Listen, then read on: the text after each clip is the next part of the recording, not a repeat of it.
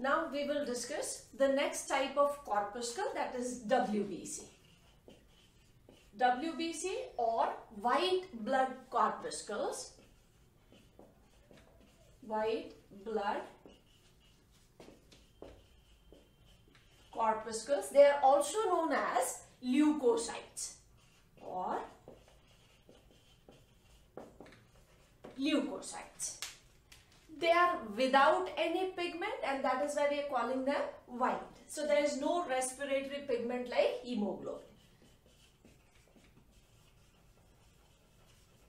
Now if we talk about their number and size first, the size is much bigger as compared to RBCs.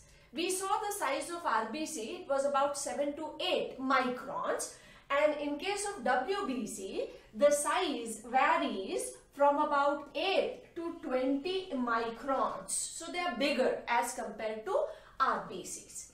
Then coming to number, number wise they are much less as compared to RBCs. RBC number was 4.5 to 5 million per cubic millimeter. Here the number varies from 6000 to 10,000 per cubic millimeter. And that is much much less as compared to RBC. So if we compare the ratio of RBC and WBC, RBC would be about 600 approximately to the WBC, 1 WBC. The ratio is going to be 600 to 1. So this gives us an idea that the number of RBCs is much more as compared to that of WBC. When we talk about the shape of WBCs, they are either rounded or slightly irregular. Round or irregular. They are nucleated. That means WBCs, when they are mature, they have nucleus. If you are able to recall, in RBC we said, young RBC, immature RBCs have nucleus and other organelle. But when RBC is mature, they lose the nucleus as well as other organelle and that is why we call them enucleated. Whereas WBCs are nucleated all throughout their life. And different types of WBCs, the nuclear shape is also different. So here we will write that the shape of nucleus is different in different types of WBCs. And that is why these WBCs or leukocytes are known as polymorphonuclear leukocytes. They are called poly for many, morph is for the shape or the structure and nuclear is for the nucleus. So WBCs have different shapes of or forms of nuclei and that is why they are known as polymorphonuclear leukocytes. The abbreviations which we use for this is poly, P, morpho, N and L. It is one abbreviation. Sometimes we find the abbreviation as P for poly, morphonuclear is only with M and leukocyte. One more abbreviation which we see is polymorphonuclear and leukocytes. So there are these common abbreviations which are used whenever we are talking of the term polymorphonuclear leukocytes. And this means that different types of WBCs, they have different forms of nuclei.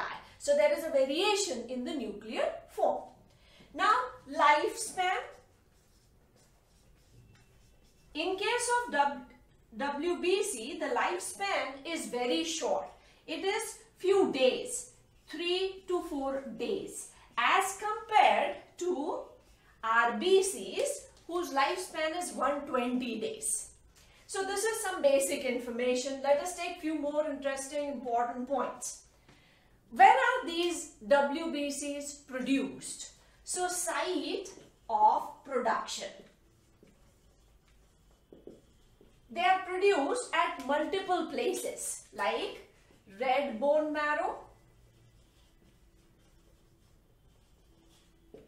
lymph nodes,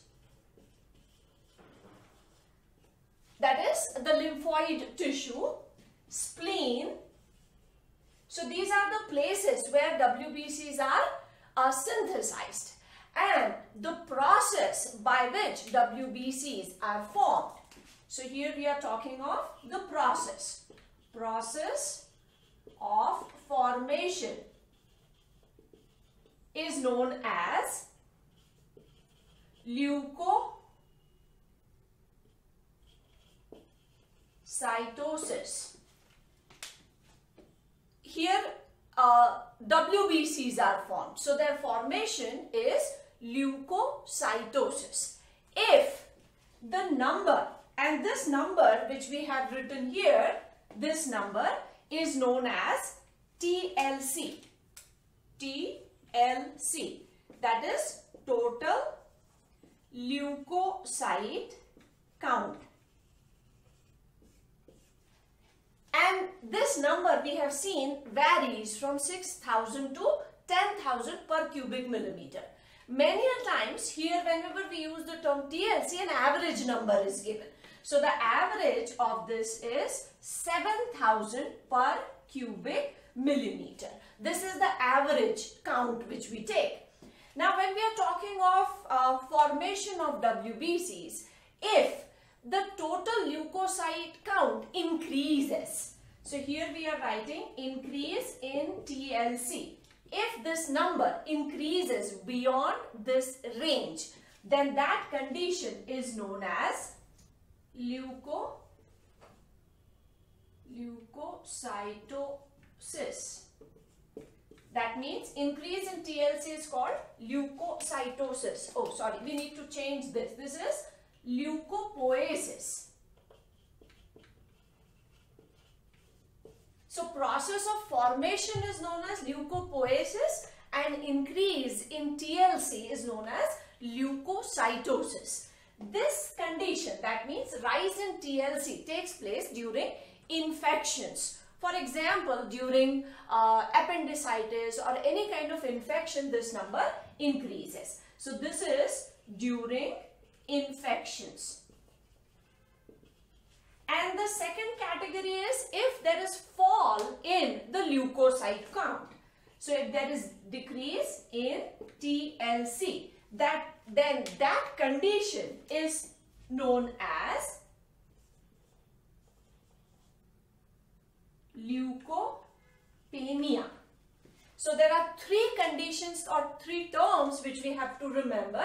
Process of formation is known as leukopoiesis. And these organs where this uh, WBCs are synthesized are called leukopoietic organs and processes leukopoiesis. TLC that is total leukocyte count increases during infection or infectious condition. That condition is known as leukocytosis, increase in TLC. Decrease or fall in total leukocyte count is known as leukopenia. So these are three important terms which we have to remember about WBCs. Few more things about WBCs. One special property which is shown by WBC is known as diapedesis. This actually means that WBCs, they have very flexible membrane and can squeeze out through capillaries. So it is a property shown by WBC that they can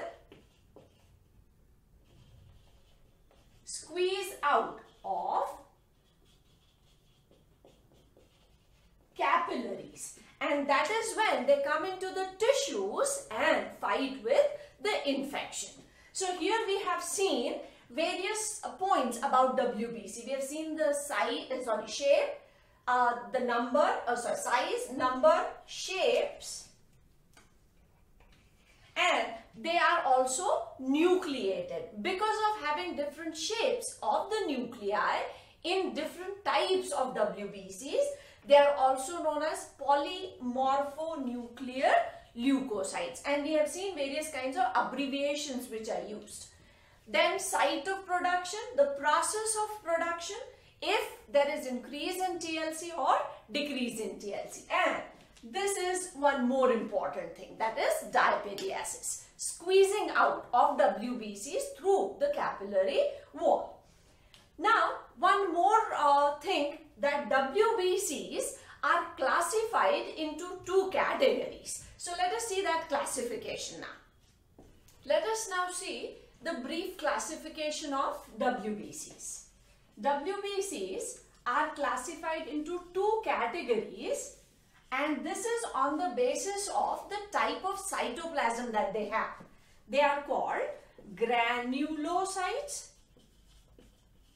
when their cytoplasm has granules. So here we can write that they have granular cytoplasm. And the second category is agranulocytes. And as the name tells us, the cytoplasm is clear without any granules. Cytoplasm is without granules. And these granules, they are of different substances in different types of cells. First, let us classify them further and then we will see what exactly is present. Granulocytes are again classified into three categories on the basis of the stain which these granules take. So here we will write this classification is on the basis of stain taken by the granules. So if the granules take acidic stain, they would be called acidophils. If they take basic stain, then they would be called basophils. And if they get stained by both acidic as well as basic stain, then they would be called neutrophils. So let us write what why we gave these names. They get stained by acidic stain the most common acidic stain is eosin. And that is why acidophils are also known as eosinophils. The reason why this name is given to them is because the most common stain that we use is eosin. Basophils get stained by basic stain and neutrophils they get stained by both that is acidic as well as basic as well as basic stain. So these are the three granulocytes and depending upon which stain these granules take, we have given them the names acidophils, basophils and neutrophils.